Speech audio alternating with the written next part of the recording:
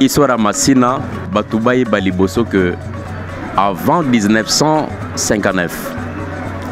masina commune ezala te masina espace wana ezalaki eh, lokola mwa zamba na kati ya zamba wana bato babandaki koya kosala chasse bato mpe babandaki koya kosala bilanga moto ya liboso avandaki na masina ezalaki papa moko boye ngai nayaki mpe komona ye bakobengai papa polo mosapi komona yaki papa mbangalala ye azalaki na babala feshi na quartier d mpo eh, masina ebanda nano na quartier d baquartier mosusu wana kolanda eh, chiffre te non masina je pense que première espace oyo ezalaki okipe nano ezalaki nanu quartier de bo papa wana boye papa mbangalala azalaki chasseur hein? ye lokola ayaki na zamba ye aye kokota me bato nano bakoti mpenza te ntango tokomi kopusana bambula epusani je crois tokomi na 1960 je crois ou 61 eye kosala ke non vala kan luka de njili ekomi elongwe kan luka de njili ekomi sikoyo commune annexe ya ya njili yango papa albert loso akolongola biro wana boye na re oyo babenge tribunal akomema yango na balabala ya bandundu kote ya ekole ya uh, kote ekole ya armée disali na babala bandundu na coin epai ya bavieux sayo maseka ndako wana boye oyo eservaka première bureau ok ya commune annexe ya njili soki oketi lelo ndako wana boye ezali alors ntango batiki lopango wana boye ifale baluka esika mosusu o wana sikoyo bakoya na babala ndinga na direction ya bekatef omoni esika station ezali omoni lopango eza na nsima station na kwa ndinga lopango wana place deuxième bureau troisième bureau disons après tribunal après bandundu troisième bureau eye kokoma place wana base mobilise papa albert loso aye kozwa espace oyo esika biro ya commune ya masina eza ye nde na initiative na ye na effort eh, collectif baye kotonga première bâtiment hein, officiel ya commune ya masina ingénieur guilema yamba sunda picture tv Merci babonne ya Sunda Picture TV nalobaka que boza mokili mobimba oyo kosepelaka na chaîne na biso obengaka biso na États-Unis obengaka biso na Europe Océanie Afrique partout oyo bana ya Masina bana ya Changu bana Kinshasa bana République démocratique du Congo bazalaka yango nalobaka que oyo ngai nasalaka ya malamu eza nde mpo bino botindikaka ngai kasi mingi mpenza nalobaka naza na mposa ya batoli na bino mpo chaîne na bino ekontinue kosepelisa bino lelo oyo na sunda picture tv tolingi tolobela lisolo ya komine na biso ya masina nalobaka ngai wa bino gile mayamba likolo na ngai bayaya bazali bakulutu bazali na generation na ngai bamasta oyo ndenge nabengaka bino bana mai Na se pe baleki bazali. Kasi na lisolo oyo etali bakulutu, nalobaka totikela bango babeta po bango nde bayebi yango koleka. Yango lelo oyo tolingi tobeta lisolo ya Masina. Naponi moko ya bana Masina ya tongo oyo azali notable ya Masina, oyo pe ayebi Masina, ye abetela biso lisolo yango. Kasi lisolo yango ezali nini? tolingi tobeta lisolo komine na biso ya masina naissance na yango yambo te ngai na yo tofanda na komine oyo ezalaki ndenge nini tolingi tolobela lisusu administration ya liboso ya komine ya masina nani asalaki yango yango lelo invité na ngai azali mwana mboka fiza nawe nayandi ye nde moto akobetela biso lisolo papa fisa mbote eh, mbote ndeko gilain ndeko fisa toyebi ke ozali notable ya masina toyebi ke oyebi masina koleka ngai oyo nazali leki mwana koleka mpe baoyo bazali na se kasi likolo na yo mpe bamikolo bazali me toponi yo obetela biso lisolo oyo batelespectateur nalobi lelo oyo ngai nakoloba mingi te nazotika mokolo abetela biso lisolo eza histoire bozwa babiki bozwa bafei bokoma makambo oyo ndeko fiza azali kobetela biso lelo papa fiza sante ndenge nini malamu na yo mpe lokola ya mpe kimi ezali lelo oyo toyebi te balisolo ya masina na biso lokola mokolo masina na biso ebandi ndenge nini papa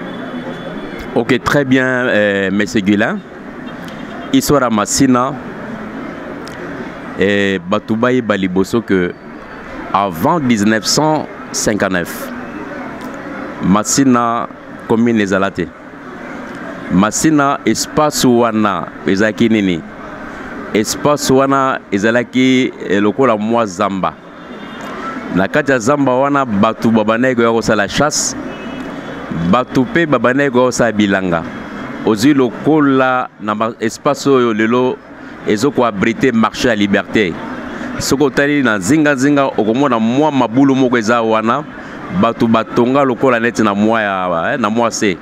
ezalaka lokola carrière ya zelo bamituka ebandaki koya kotimola zelo mpo bakotonga ya kinshasa eloko ya liboso ya eba yango wana boye ezalaki mpe na bakongo oyo bazalaki na komi na njili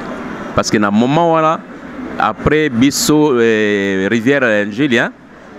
après rivière ya njili commune oyo ezalaki d'abord ezalaki na commune ya, ya, ya njili mais oyo ngambo pai boye eloko ezalaki te ezalaki zamba esika bazali kosala bilanga zamba esika oyo mpe babandi kosala chasse bongo commune ya masina eye kokoma na esika wana ndenge nini il faut koyeba ke na histoire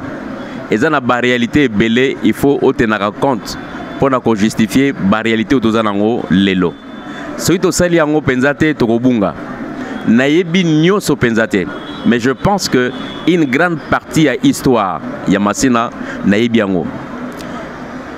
toza na 1954 ok na ntango wana boye président kasavubu ere wana akomi nano président te aye kokoma lettre epai ya administrateur territorial hein, ya basite indigène ayebisi bango ke omoni na leopoldville awa bakongo bazali mpenza ebele bongo sikoyo ntango babana kopona bakonzi batya bakonzi na basite ya banegre il faut pe abako ye moto azalaki président ya bako apesaka pe mot d'ordre na ye azalaka pe consulte bongo na bekolo mosusu wana bona ba ethnie mosusu bamonaki yango lokola mwa neti domination moko boye hein? lokola elan moko de domination ya bakongo par rapport ya batribu mosusu wana boye baethnie mosusu il faut dire que na moment wana boye eh, Léopoldville ezalaki occupé à peu près na 83% ya bakongo omoni esalaki lokola mwa frustration okoyoka na bambula wana boye bamessage lokola bakongo domine bango bakongo domine bango alors tobandi kopusana toye kokóma na 1959 na 1959 wana mpe masina eza kaka zamba masina ezala nao kaka te sikoyo eh, chef kiamvu chef ya bayaka azalaki rappele na kinshasa awa azala consulte en préparatif ya table ronde oyo elingaki kosetenir na, na belgique ntango aye na léopoldville chef oyo bayaka kiamvu panzu azalaki loge na hôtel regina alors bayaka oyo babandaki kosouffrir awa oyo bazalaki mingi balocataire balobi non il faut tokende komona chef na biso topose problème oyo biso tozovivre na, na léopoldville awa et pour un détail de l'histoire eloko nini babandaki kovivre soki ngai par exemple naza locataire nafutelaka esika ndeko songolo ntango ndeko na ngai auti mboka ye aye kotala ngai akoki kolala epai na ngai te ok akoya ale ameli mais moma akolala il faut aluka esika ya kolala c'est ce qui fait que na moma wana baplace ya kolala ezalaki te mingi babandaki kende kolala na, ba, na bawenze mingi bakolala mpe mosusu na, na banzete alors na ntango wana boye mokonzi na bango aye balobi en tout cas mokonzi lokola yo oye awa tala problème oyo biso tokokutana nango awa na, na léopoldville toza na esika te toza kosouffrir rencontre wana ezalaki na hotel regina ayebisi bango sava nayoki bino lokola nayoki bino ngai mpe nakokutana na gouverneur général wana ezalaki eh, pétillon nakokutana na ye nakopose problème na bino délégation wana boye oyo bayaki komona chef kiamvu bazongi bon chef kiamvu azwi audience na pétillon Et détail de l'histoire, tant que chef ya yaki ya ibaki kikongo. Français penza a ibaki penza makasite. Azalaki accompagné na interprète. Interprète on azalaki pe belge, un flamand. Yende abane ko sala interprète tant que bazali ko solola na na pétion. bongo belge yango komona ezalaki bongisa baobenga ye bongisa bauti ne na kasongolunda baye na ye awa na kinshasa comme interprète bapesa ye nkombo abongisa parce que ntango azalaki kuna na eh, interieur na kasongolunda bamisala mike mike mike ya kobongisa mwa baekole mwa banini yango bato ya mboka bapesaki nkombo ya bongisa alors ntango bakei epai ya petillon bakutani na petillon basololi basololi makambo etali eh, participation ya, ya bagrand chef coutumier na table ronde na, na, na bruxelles e chef aprofite mpe mpo apesa ba doléance ya baoyo ya ye epai ya Petillon. Bongo Petillon akoyebisa ya bino non, mokonzi mabele ezali ya ya bino yebisa bandeko oyo ya yo ok esika oyo nyonso bakomona ke espace ezali eza inhabite ok bakende bakende kovanda mpo mabele ezali ya yo alors ntango basilisi rencontre na bango wana boye alors réunion moko eye kosalama dimanche esika kiamvu arecevaki ba, ba, ba notable bakwangole oyo bazalaki na, na, na leopoldville rencontre wana ezalaki na commune ya lingwala à l'époque baobenga yango commune ya saint jean au cours ya rencontre wana akoyebisa bango alobi te ngai nauti kosolola na gouverneur général ayebisi ngai boye bisika oyo bovandi soki bomoni ke baespace eza vide bato baza te bokende kovanda mais bango bakotia courant te bakotia mpe loti bakotia mpe mai te donc lotilike eza te mai eza te wana ekoki kolanda nsima alors na moma wana ntango bakwangole wana boye bazwi information wana boye bakwangole oyo babandaki kovanda na commune ya njili parce que ndenge na otoloba awa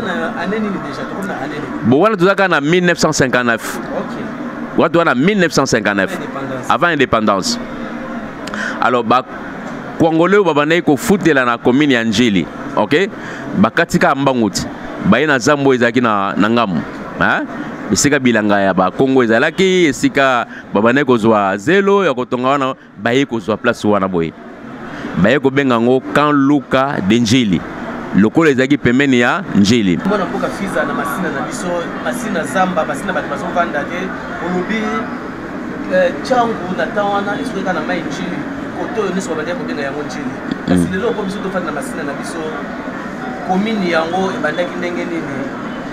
Avant tokoma na administration ya Yambo, tosolola nanu ebandaki ndenge nini bino bato kofanda? Okay. Tango tokomi na 1959 wana eh, omoni bato oyo bandaki kofutela quelque part lokola ezalaki zamba il faut baya bon sikoyo mpo bapesa yo mabele hein? mabele fo ozala na carte oyo babenga carte ya parti oyo luka mambo ok donc oye olakisi carte ya luka mambu ale balakisi yo place ya, ya, ya kovanda Ça, c'est un. Deuxième chose, détail aussi très important à l'histoire, il faut que les équipes facilité. Malgré que bango baya, hein, bazwa esika bavanda. Mais na, euh, à l'époque, colonel Kokolo, na basoda na ye bana kopoze mwa problème ozomona hein? parce que bakongo balingaki bamaîtrise hégémonie bamaintenir hégémonie na léopoldville c'est ce qui fait que na moment wana boye mwa baffrontement ezalaki bitumba ezalaki hein? mpo na kozwa mwa place wana boye tout ça mwa matata bitumba oyoka lelo bolali babomi mutu ainsi de suite mais oyo bazalaki libanda babandaki koya kotonga hein? afutelaka nde na libanda aye abandi kotonga mwa place na ye balakisaki ye na nsima ya kolakisa karte ya, ya parti oluka bapesi ye espace abandi kotonga bongo moto ya liboso mpenza selon bakolo nasololaki na bango moto ya liboso avandaki na masina hein? ezalaki papa moko boye ngai nayaki mpe komona ye bakobengai papa polo mosapi papa polo mosapi komona yaki papa mbangalala ye azalaki na babala feshi hein? papa wana boye euh, na quartier d mpo eh, masini ebanda nano na quartier d baquartier mosusu wana kolanda eh, chiffre te eh, non masina je pense que premier espace oyo ezalaki occupé nano ezalaki nano quartier d bo papa wana boye papa mbangalala azalaki chasseur hein? ye lokola ayaki na zamba ye aye kokota me bato nano bakoti mpenza te bongo bato babandaki koya kosasa misala ya kotonga bandako na bango soki baye mwa nsima mwa tol babandaki eh, kobombisa yango esika papa eh, polo mosapi na papa afeshi papa polo mosapi pour détail azalaki papa ya vieux mozart vieux mozart oyo azalaki joueur ya, ya ya ngozulu parmi ba jeune oyo oyo bamarkaki eh, eh, histoire ya football na masina soki otuni na masina vieux mozar ok bakoyebisa oyo azalaki nani loyaki papa na bango alors ntango babandi koya wana boye en face y avait la commune d'engile omoni mwa antipati moko ekotaki entre bakongo na, na bayaka compte tenu ya baréalité oyo nauti koexplike ko bino awa alors sikoyo bapolicier ya, ya ya colonel kokolo babandaki kotrake bato eh, eh, bamoni yo boye kokanga bolali na butu omona bapapa bakovanda balalisi bino bana babombi bino na ndako ntango mosusu batimoli mwa mabulu na kati ya ndako bakoti bino wana boye bango bazoveye alors par rapport à réalité wana boye papa oyo nauti otanga nkombo papa eh, polo mosapi hein? ye na papa moko bakobenga papa kasongo hein? bango babanda kosala bafetishe Ba fetiche wana babandaki kosala yango wapi? Babandaki kosala yango pa ya papa Polo Musapi na balabala Feshi. Bongo fetiche yango babobenga yango kombo nango kubidi. Kubidi. Donc kubidi wana ezali donc ata ozwi lisasi, lisasi ekosala yo eloko moko te. Voilà bitumba wana kaka pa pa pa pa et en plus baye pe kozwa ba jeunes oyo bakobenga jeunesse. Hein? Donc bango bazo ko veiller butu na moyi. omona neti na re awa na ngambu ezalaki camp abako hein? camp abako ya bakongo eh, eza camp bako te eza camp abako alors soki mokongo asali erreur ase retrouve na ngambo pai boye na camp luka denjeli soki basuspekte ye ok bakotuna ye aloba na monoko ya mboka soki alobi na monoko ya mboka baye ko sentir kaza muyaka te bakangi ye er, eh, hmm. hmm. eh, na moma wana eza nanu eh, bakobengao kan luka de njili ndenge ezalaki kan luka ya sinalco ndenge ezalaki mpe kan luka ya kingabwa koto kan luka de njili donc heure wana tokomi nanu komi na next te toza nanu kan luka ok alors ezalaki bongo bitumba ainsi de suite bon à un certain moment eh, eh, accalmie ekoti hein? mais suspicion ezalaki quand même bazwi yo na arret bakotuna yo ere wana boulevard ezalaki te ayaki mabele babala oyo tobenga boulevard lumumbo ezalaki na mabele na basphalte yango te bon ezalaki bakotuna na monoko ya mboka soki bayoki kolobi na kikongo bacomprendre ke non voilà moto oyo aza azala ya biso te ok eza histoire oyokaka na nzembo mo balobaka eh, histoire ya papa mapasa papa mapasa akende wapi papa mapasa abunga mopepa luka emema ye papa mapasa ayaki mokongo par mégarde aye kose retrouve na ngambo oyo ntango bazwi ye bakangi ye na jeunesse ba jeunesse bongo na momo nayaki soki bakangi yo bamoni oza boye en tout cas soki yango ezalaki liwa bongo babandaki kokunda bango ah, leta ere wana awa ah, leta aza nanu te eh, toza nao na camp luka eh, toza na camp luka l'état mpenza même mposa la police ezalaki te nakoya ntango tokolobela première administration ndenge ebandaki tokokoma place wana boye nalobi na detail wana papapapapa eyi kokoma na moma wana boye kaka oyo wana boye ba papa baye ko s'organiser toza na camp bapesi biso mais il faut quand même mwa ordre ezala bongo baye kosala bureau bongo président ya bureau wana boye ezalaki papa andré makala papa andré makala azalaki kovanda na quartier 3 na balabala table ronde je crois eh, il y avait encore papa papa kambuya bonaventure bana masina bayebi papa kambuya bonaventure ndenge babomaka ye na baro major hein? bayaka un week-end ndenge bamelaka masanga basoda bautaki na kanseta ero ezalaki kanseta ezalaki kansip baye mpo babomaka soda moko na quartier 1 kote bar moko ezalaki bar na luna park ezalaki na quartier 1 ntango babomaka soda moko wana boye basoda kansip bavanjaki baye na bare ya major baye bakoti babomi papa boro akufaki alors voilà bango nde bato eh, babandaki première administration bongo biro wana ya bango ezalaki wapi biro ya bango ezalaki na quartier 1 omoni arrêt oyo babengaka tribunal ntina babengela yango tribunal parce que bureau wana ebandelaki nanu esika wana boye donc soki balitige ezalaki mwa baconflit bokei mpa na bango bango bazalaki lokola banotable bajuge informel bakomeka eh, koyoka bino papapa bameki kojuge bamande ezalaki soit ofuti soso soit ofuti taba ezalaki kaka ndenge wana boye yango ntina place arre wana oyoka babenga yango arrêt tribunal alors ntango tokomi kopusana bambula epusani je crois tokomi na 1960 je crois ou 61 eye kosala que non voilà kan luka de njili ekomi elongwe kan luka de njili ekomi sikoyo commune annexe ya ya njili ok na esika wana boye esengaki moto oyo aza quand même na mwa bongo moto atangi mwa quand même mpo abanda kogere commune annexe ya njili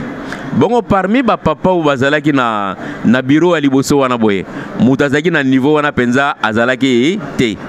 yango bayaka bakokutana basali réunion baye koreconnaitre moko ya bango ezalaki papa albert loso ndindala na moma wana papa albert loso ndindala azovanda na komini ya saint jean na lingwala ye azalaki menisier ye ayebaki kokoma ayebaki kotanga balobi te toza na ndeko na biso muyaka atanga ayebi en tout cas ye nde aya mpo azala premier agent territorial ya commune annexe ya njili ere wana komi na masini eza nano te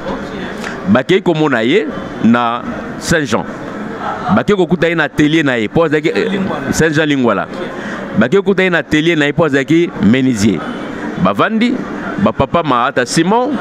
mwasi na uto kutakuta ebembe nano nano ebimi te bakuti bapose problème balobi albert hein? yo oza awa biso tozwi mabele na biso hein? tozwi oyo ya biso hein? ntina ngo na nkombo ya masina hein? tokoya mpe bete na moma wana me sikoyo awa ovandi awa mabele na biso ezali hein? tosi tozwi baza na besoin ya bato oyo bazali mayele yango toye kozwa yo mpo yo okende kokoma premier agent territorial ya commune annexe ya njili okay. papa albert na ebandeli asalaki koboya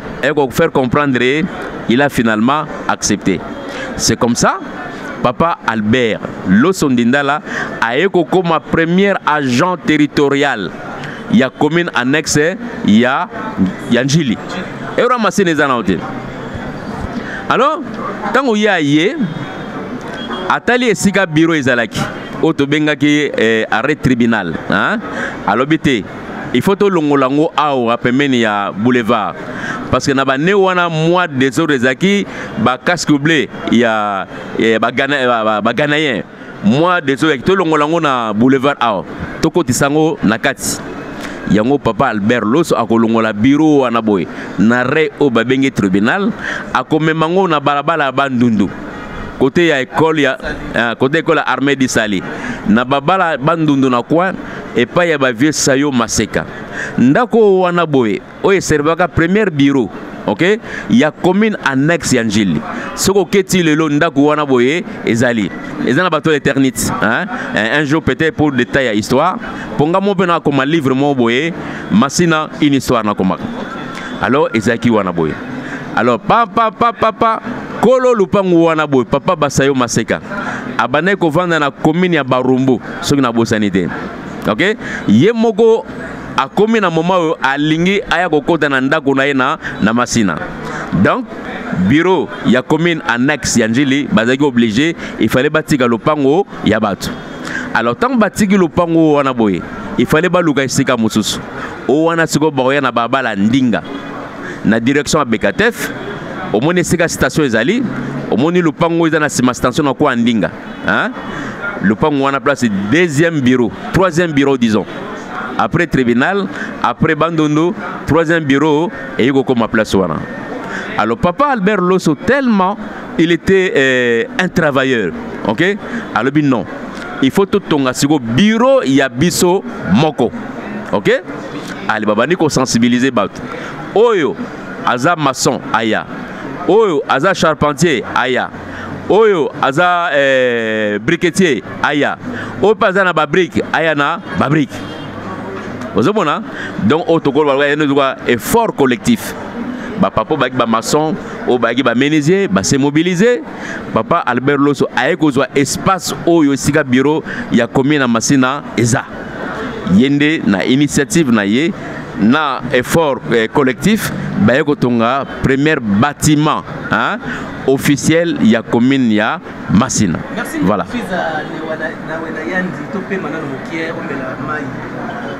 euh, tozomona bandeko nalobi ke lisolo ya masina likolo na ngai bayaya bazali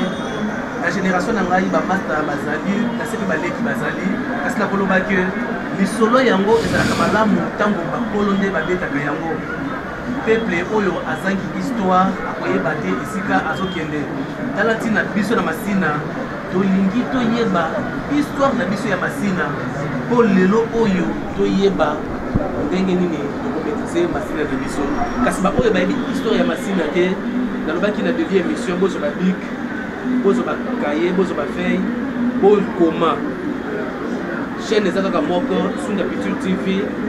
bosabone bolake bopanza émission oyo bolandaka ngai na états-unis bolandaka ngai na europe esika nyonso oyo mwana masina azalaka histoire yango oyo ndeko fiza azali kobeta nalobi oyo ezali émission ya bakulutu mokolo oyo oyebi esika oyo lelo ekoma boye lobi ezalaki nini yaka betela biso lisolo yango ndeko fiza nazongi su epai na yo olobi place maison communale ya masina ezali papa na biso loso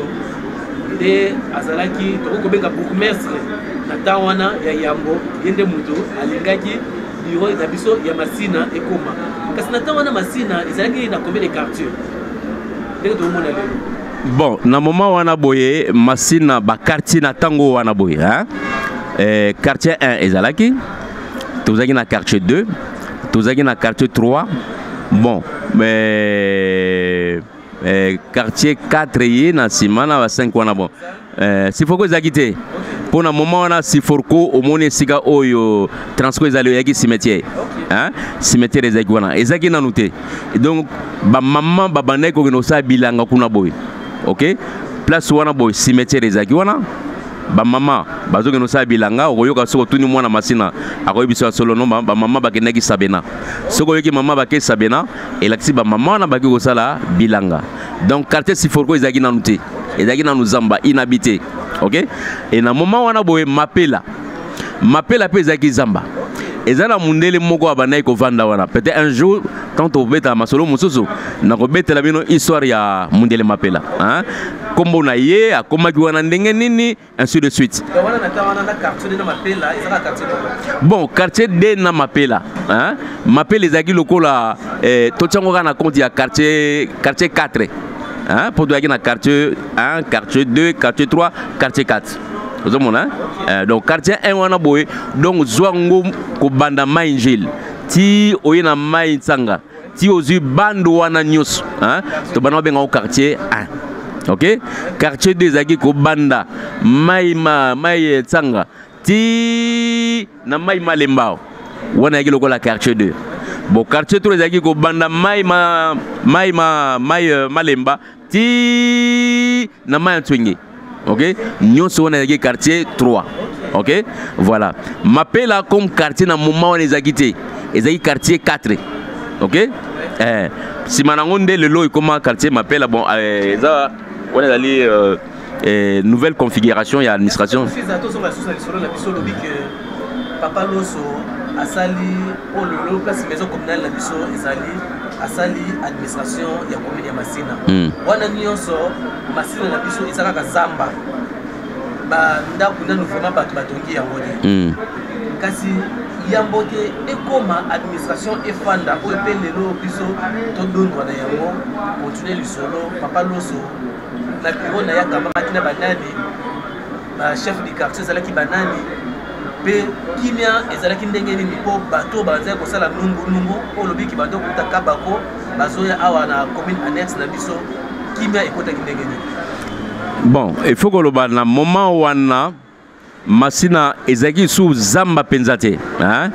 mais ezalaki mpenza eh, totalement complètement habité te ezalaki na baespace oyo ezalaki baepace moko boye espace vert omona mwa zamba tout ça ainsi de suite eza lokola eh, pa mundele mapela pa mundele mapela wana boye na bambulo wana boye ndako ya mundele mapela eyaki na kati ya zamba hein? eh, okomona na lopango ya mundele mapela akundaka ba ba goyavier ba nzeta mapela tina tobandaki kobenga ye mundele mapela donc biso ntango tozokende soki okati kaka mai na direction ya bekatef ya ero mati okomona bandako eza wana boye na quartier 4 soki opusani wana boye okomona zamba ebandi bongo eh, chemin de fer rai ezalaki na kati ya zamba ok kuna okoki kokende te parce que modema pele azalaki azalaki na gardien nde tokobenga bifalo donc bifalo wana azalaki tokobenge bifalo à partir ya film ya bifalo azalaki mandefu donc okoki kokende kota kuna te mais tobanda kokende kaka mwa moke moke oluki oyibi ta mosusu oyibi ta mosusu mwa mune eh, manga oyibi mapela ainsi de suite mais bifala azwa yo te alors ntango mpe tokomaki mwa kobusana boye toyaki baelève soki tokomi na periode ya, ya examen tokendaka na zamba wana boye mpo na concentration tokoki kotanga oza na kaye na oyo na baninga bovandi ti bozotanga papapa donc kuna moto azala te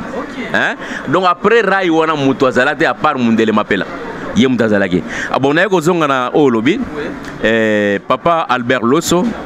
ye premier agent territorial ya commune annexe de njili ameki koorganize aza na bato oyo atravayaki na bango bazalaki mwa ebele me emoni eh, bapapa ngufulu bakufa bazalaki mwa ebele me bakomo na bango peut-être fo nasala efort nameka koyeba ingénieur guile mayamba sunda picture tv